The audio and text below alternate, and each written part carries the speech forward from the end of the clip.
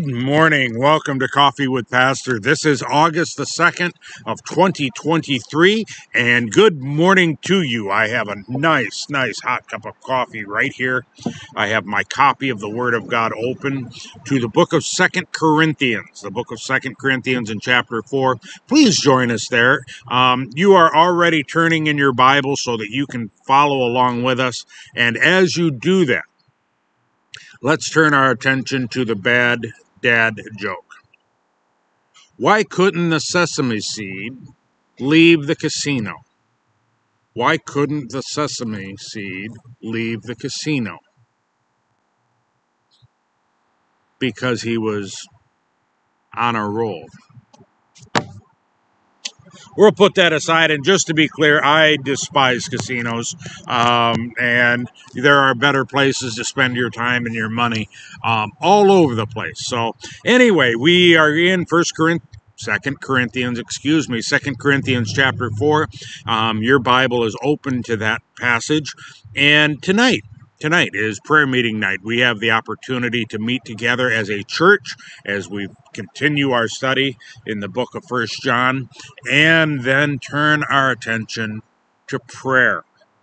And we would encourage you, if you are in our area, anywhere near our area, we would certainly encourage you to join us and share that time of fellowship, time of study, time of prayer with the congregation. So we are getting very close to that nine o'clock hour.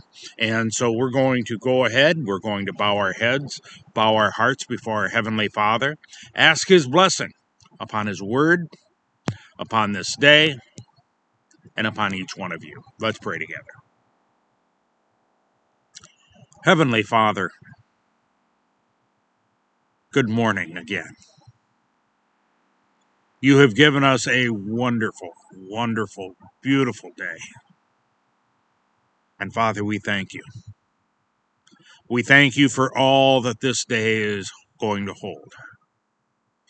And Father, of course, you are already there in all of the circumstances, knowing full well what is going to await us throughout this day. And Father, again, we thank you.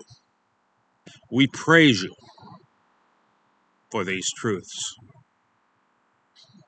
Father, as we come into your presence, we again want to ask your blessing upon each and every one that joins us. Father, as we've already noted, you know what the day holds. In fact, not just for me, not just for my wife, but for every one of us. You know what the day is. And so, Father, encourage your people through this day. Use your people through this day.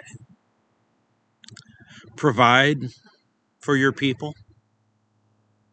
Father, you know our limitations. You know our challenges. You know the temptations.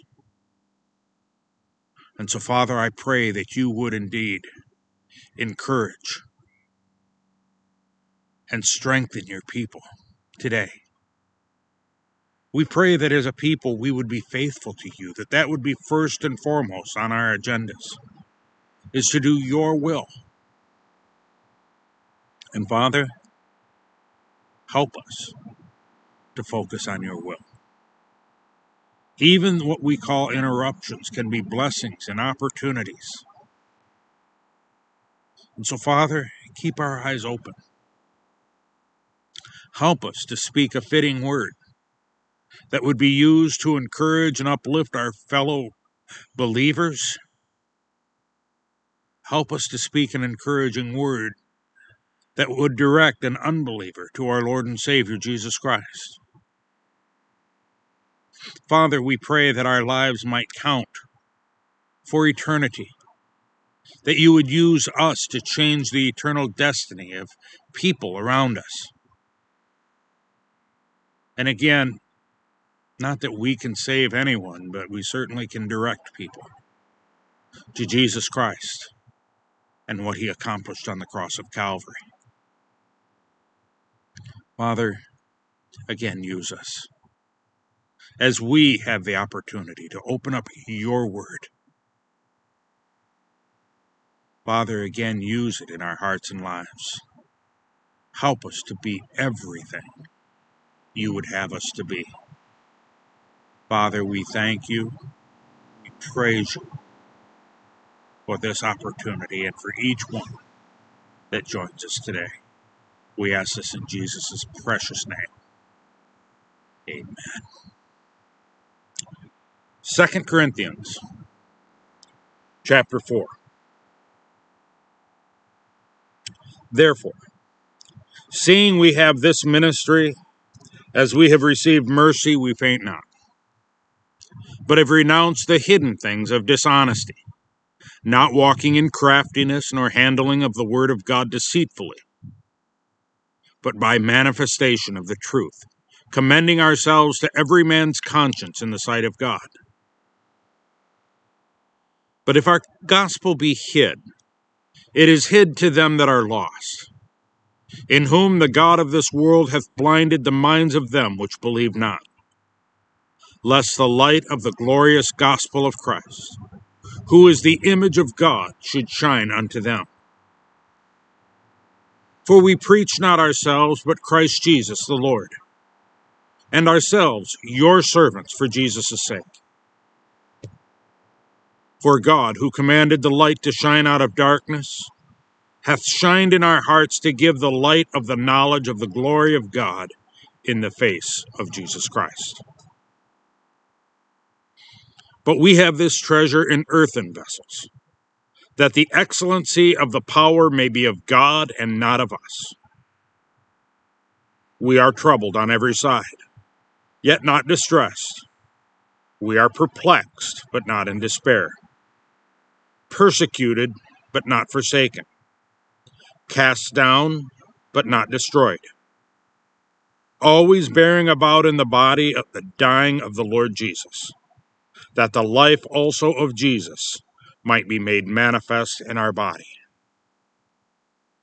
For we which live are always delivered unto death for Jesus' sake, that the life also of Jesus might be made manifest in our mortal flesh. So then, death worketh in us, but life in you. We having the same spirit of faith, according as it is written, I believed, and therefore have I spoken.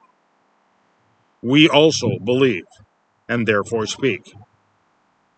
Knowing that he which raised up the Lord Jesus shall raise up us also by Jesus, and shall present us with you. For all things are for your sakes, that the abundant grace might through the thanksgiving of many redound unto the glory of God. For which cause we faint not, but though our outward man perish, yet the inward man is renewed day by day. For our light affliction, which is but for a moment, worketh for us a far more exceeding and eternal weight of glory. While we look not at the things which are seen, but at the things which are not seen.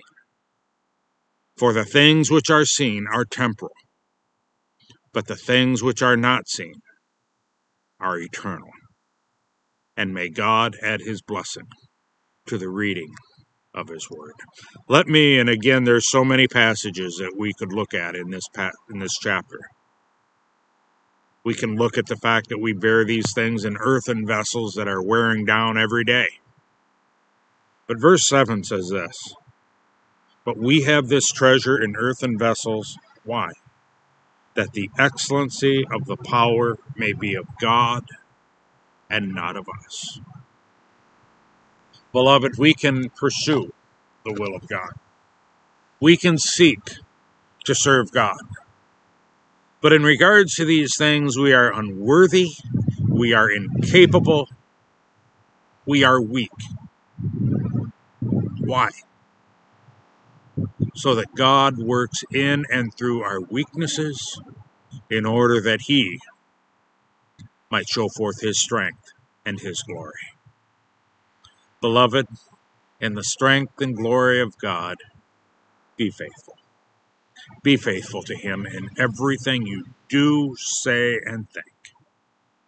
Never allowing yourself to become someone else's excuse for turning away from the gospel of our Lord and Savior Jesus Christ. Beloved, I trust you're going to have a super, super day. I pray that you have nothing but God's best upon your life. And until tomorrow, may the grace of our Lord Jesus Christ be with you all. Amen. And God bless you.